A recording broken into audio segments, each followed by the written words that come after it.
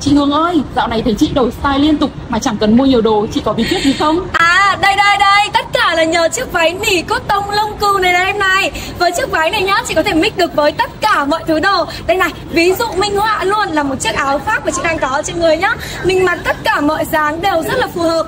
Bình thường nếu như mà em còn đang băn khoăn ở trong tủ đồ của mình Là ví dụ ngày hôm nay mình nên mặc chiếc áo khoác này Với lại một cái váy nào Thì ngày hôm nay chị giới thiệu với em một chiếc váy cốt tông nỉ lông cừu Đến từ nhà Carina với nhiều bảng màu để em lựa chọn Mà mix với rất là nhiều đồ đều phù hợp. Đây, cho chị mượn luôn cái áo khoác mà em đang cầm đi. Đấy nhá, là chị mix luôn. Tức là mình mix với tất cả mọi thứ đều vô cùng là phù hợp luôn cơ. Đây là một chiếc áo khoác màu vàng bò đúng không? Hợp luôn.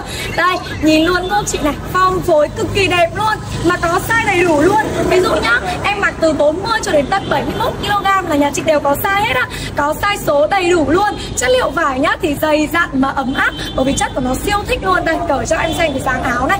Váy mặc phải gọi là siêu xinh luôn Và cực kỳ là dễ mặc và dễ mix mắt. Dây áo thì chúng ta có thể rút ra được này. Đây nhá, chi tiết của áo mà xem này. Mình bỏ dây ra. Mặc thành phong, áo phông này đều rất là phù hợp.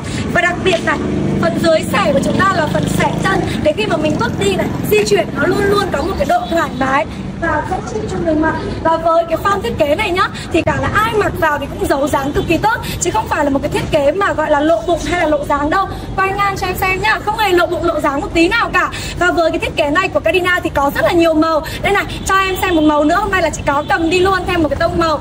Rất là đẹp cho mọi người cùng xem luôn. Đó, màu cực kỳ đẹp nhá, và chất liệu vải này thì là to ra thoải mái, dễ chịu. Mà bề mặt vải của nó mềm mịn, cực kỳ thích luôn. Quan trọng nhất là hiện tại Carina đang có chương trình sale lớn. Em phải mua luôn, mua ngay để được giá giảm cực kỳ sâu. Và đặc biệt Carina có chính sách hậu mãi cực kỳ tốt. Đó là chính sách đổi trả hàng trong vòng 30 ngày. Kể từ khi nhận hàng, nếu như khách hàng cảm thấy là chưa hài lòng hay là chưa nghĩ mà không mất bất cứ một chi phí nào. Thế thì còn chần chừ gì nữa mà không comment ngay ở đây để được đội ngũ chuyên viên nhà Carina tư vấn kỹ nhất nhá.